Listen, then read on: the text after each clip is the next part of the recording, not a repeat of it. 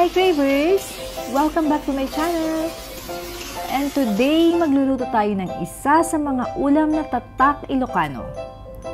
Ang not so authentic beef igado.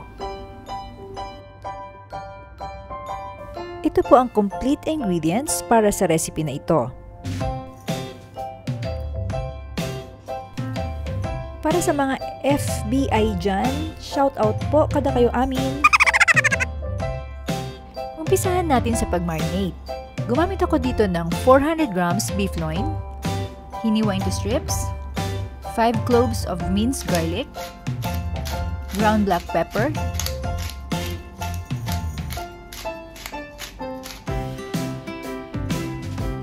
half a cup of soy sauce,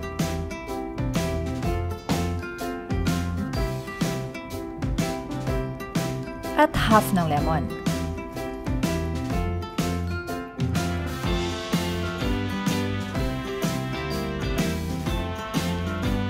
Lang natin ng maigi para mas ma-infuse ang lasa.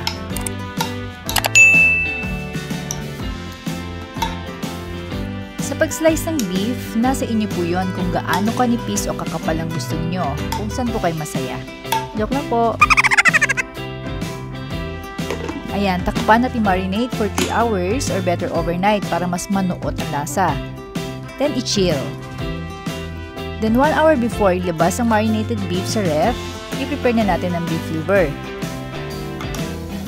Binabad natin ang 300 grams beef liver sa milk para matanggal ang lansa at yung bitter taste nito. Optional po ito ha, pwede din ang suka kung hindi available ang gatas. Ayan, so itabi muna natin for 30 minutes.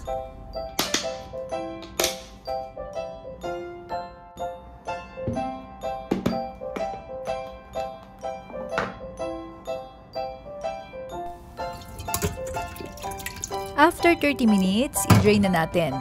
Hugasan lang maigi para tanggal talaga yung lansa hanggang maging clear yung water.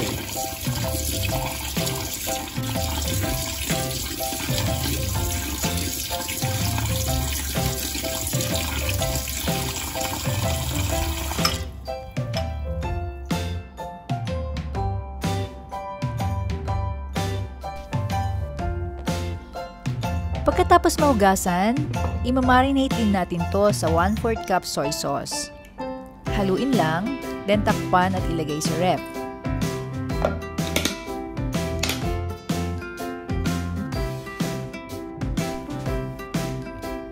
Okay, so ready na ang marinated beef at liver natin. Start na tayo magluto. Naka-ready na rito ang mainit na pan na may mantika. Igisa na ang bawang hanggang sa mag-light brown ito.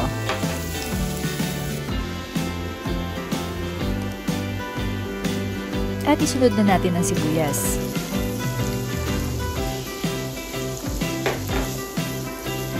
Nasa inyo po yun kung gusto nyong unahin ang bawang or sibuyas, okay lang. Huwag lang masunog ang bawang kasi papait po yun.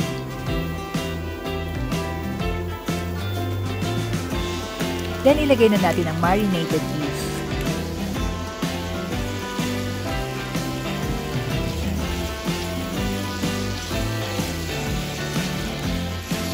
Ayan, haluin lang natin para mag-incorporate yung lasa ng uh, ginisang bawang at sibuyas.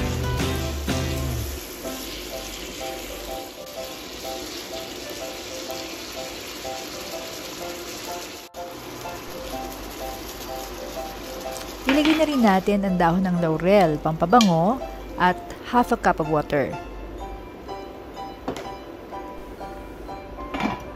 Then simmer lang natin over low to medium heat for about 10 minutes o hanggang matuyuan ito at magmantika.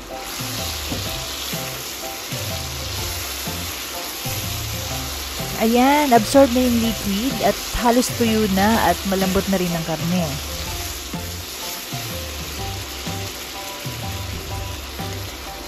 Pwede na nating isunod ang marinated liver.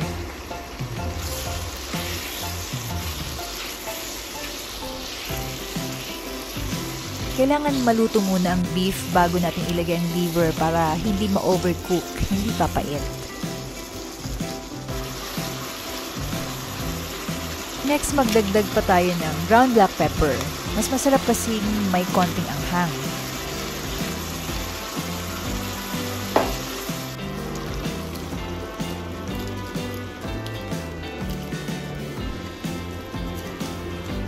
Mag-add din tayo ng 1 beef nor cube at 1 teaspoon at sweaty powder para magkaroon ng konting kulay.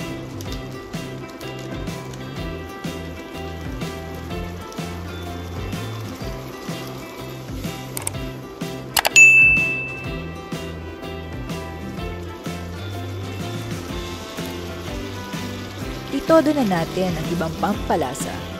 Mag-add din tayo ng 2 tablespoon oyster sauce.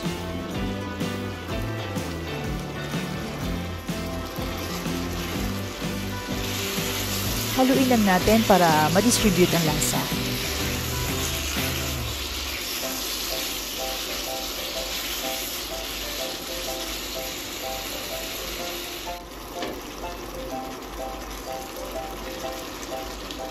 Ilagay na natin ang mga gulay.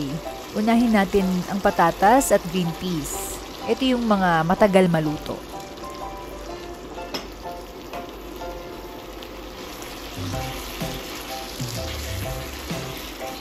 Haluin lang ito at isimmer for 2 minutes.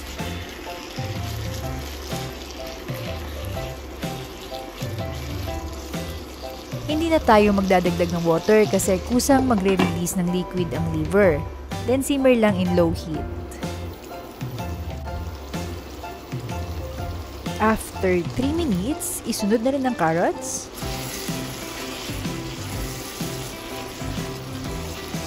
Haluin natin ito.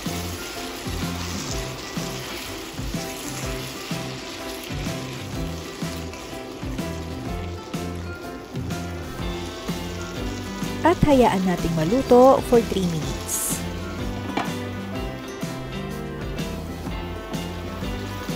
Then after 3 minutes, ayan, ang mungo guys. Grabe, nakakagutom. Nilagyan ko din ito ng 1 tablespoon brown sugar para pambalanse ng alat at asim. At panghuli, ilagay na ang red and green bell pepper. Haluin lang ulit natin at pakuluan pa ng 2 more minutes.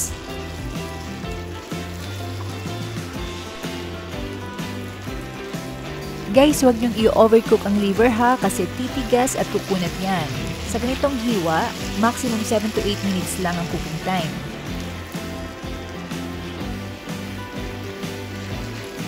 Kung napansin nyo kanina guys, nung nilagay natin kanina ang liver, halos sinabay na natin yung mga gulay para sakto sa 7 to 8 minutes cooking time ng liver.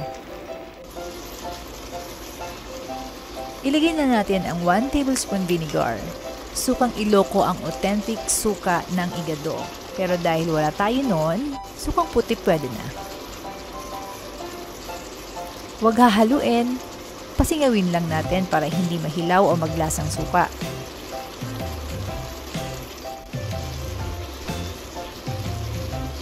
Ayan, tikman na natin.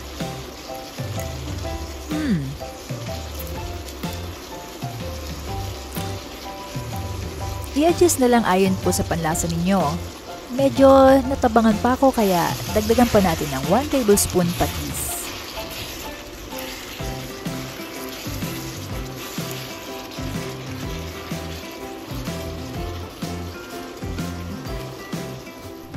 And there you have it guys.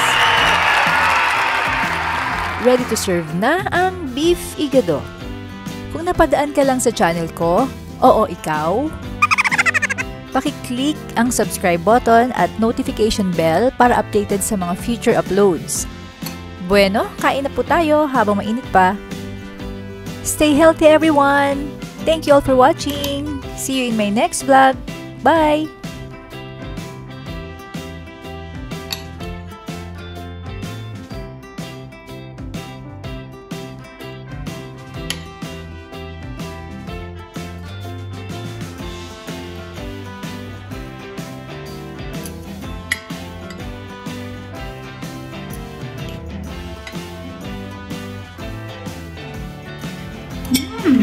Wow.